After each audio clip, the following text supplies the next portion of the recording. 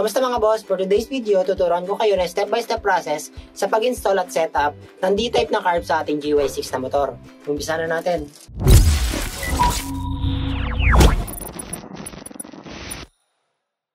Karaniwan sa mga GY6 na motor, katulad ng Rusi at Kimco, malakas kumain sa gas at minsan mahina pa ang hatak. Kaya itong D-type na carb ang pinaka-basic na solusyon dyan.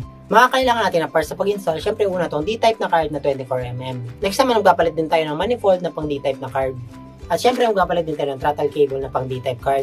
Kasi karaniwan, mga stock na piston type yung mga naka-install sa mga GY6 natin. Optional lang to mga boss, bumili ako ng mushroom type na filter kasi hindi compatible yung stock na airbox na gagamitin ko sana. Ito na si D-type carb natin mga boss. Itong binili ko, PD24J. OEM model siya, meron din mga brand na D-type katulad ng Keihin model. Kayo na bahala kung anong klase bilhin nyo. Basta D-type carb, GY6 24mm ang sukat. Una gagawin natin ay tatakpan natin yung hose na to. Kuha lang tayo ng 8mm o 10mm na bolt, ipasak lang natin sa hose na yan.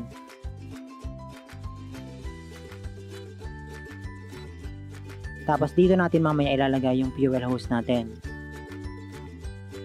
Next naman, kuha tayo ng Phillips screw para sa auto choke. I-disable natin yan. Naka-auto choke kasi si D-type carb. Yung mga piston type carb kasi may ginagalaw pang wire dun sa kaliwang bahagi ng motor, ayun yung choke nila. Pero pag naka D-type carb ka na, naka-auto choke na yan. Kaya tatanggalin mo na yung wire na yan at yung choke knob ng GY6 mo at tatakpan natin sa auto choke para wala nang makit na gas dito at maging smooth yung takbo ng GY6 natin. Kuha lang tayo ng kapirasong lata o yero, ihulma lang natin gupitin para matakpan yung tatlong butas ng choke dun sa carb. Ito na mga boss yung ginupit ko sa yero.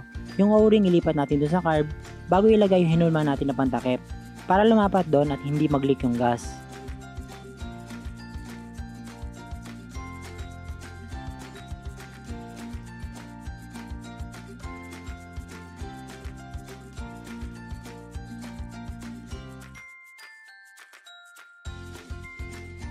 Ibalik lang natin at ilak na maigi yung dalawang screw sa auto choke.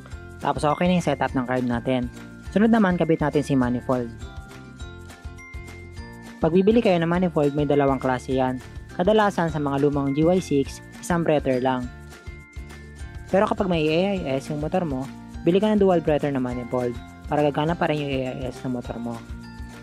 May option naman na pwede mo i-disable sa AIS kung nakabili ka na ng single breather na manifold. Nasa tabi lang ng head, takpan mo lang yon gamit yung yero o kapirasong lata na parehas na ginawa natin sa auto choke.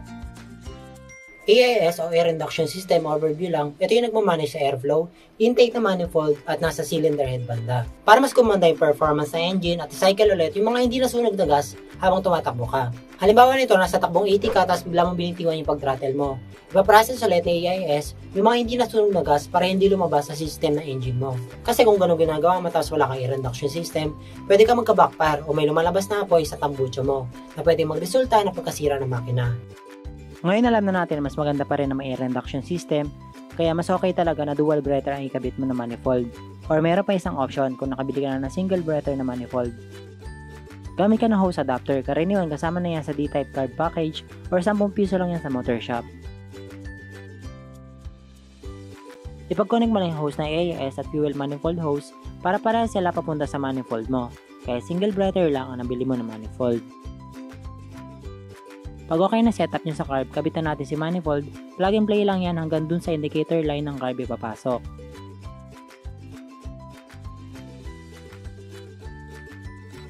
Mamaya na natin sikipan yung clamp niya pag nakabit na sa makina. Okay na tayo sa manifold, sunod naman sa air filter natin. Meron ako binili na mushroom type air filter kasi hindi yung stock na filter ni Ruiz SC125 ko dito sa carb. Okay rin naman gumamit nito at may binili rin ako na open type filter o tinatawag na velocity cap. Maganda rin gumamit nito kasi mas malaki yung airflow mo pero hindi advisable sa maulan o maputik na kalsada kasi madudumihan agad yung carb mo. Lalo na kung wala kang tire hugger kaya itong mushroom type air filter ang ikakabit ko mga boss. At syempre ang huli natin kailangan ay D-type na throttle cable. Basta ang hanapin nyo lang ay pang GY6 D-type na cable pang 125cc or 150cc depende sa makina nyo. Meron ako binili na universal cable pang D-type GY6 at ito namang isa ay pang Rusi SC125 na D-type cable. Parehas naman sila pwede as long as pang GY6 yung cable mo. Dito na tayo sa motor mga boss at kakalasin na natin yung stock na karburador. Tinanggal ko na yung choke ng akin at tinanggal ko na rin yung stock na air filter box. Overview muna tayo sa parts na gagalawin natin. Una, ito yung hose ng air induction system natin. Ito naman yung manifold hose na papunta sa gas. Ito naman mga boss yung fuel hose natin. Kalasin na natin si stock na manifold kasama na rin dyan si karburador natin. Size 10 or 12mm yung bolt na yan depende sa unit ng motor nyo. Pagkatapos tanggalin na rin natin yung piston type na cable niya. At syempre tanggalin na rin yung hose ng manifold, itabi na natin yung lumang carb at tanggalin na rin natin yung fuel hose para ilipat sa D-type setup natin.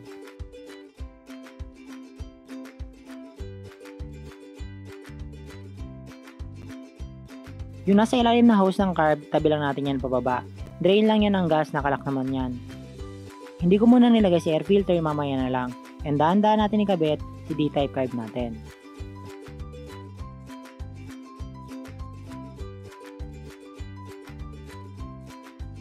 Ito yung sinabi ko kanina na pwede gamitin ng adapter kung single breather lang yung manifold mo, tapos may AIS ka.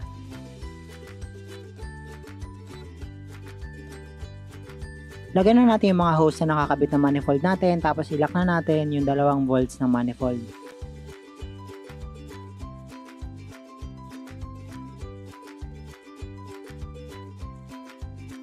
Pagkatapos, higpitan na natin yung clamp ng manifold sa D-type at kabit na rin si air filter natin.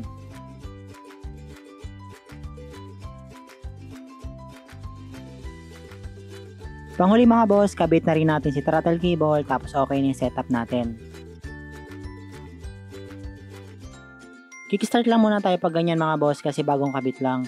Hindi agad aandar yan kasi hindi pa nakapasok yung gas sa carburetor natin. I-kickstart mo lang hanggang umandar. And make sure na nakatono si carb natin. Dalawat kalahati counterclockwise ang rotation simula sa pinakamahigpit niya. Tapos luwag o higpit na lang kapag kinakapos o malakas yung ingay para magtama yung timpla niya.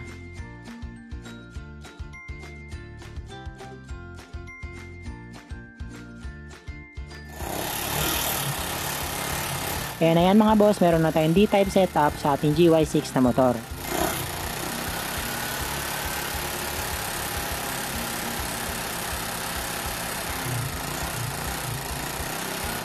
Kaya salamat mga boss sa panonood. Huwag kalimutan mong subscribe, like, and follow para mapanood nyo agad yung mga susunod natin yung tutorial sa mga GY6 na motor.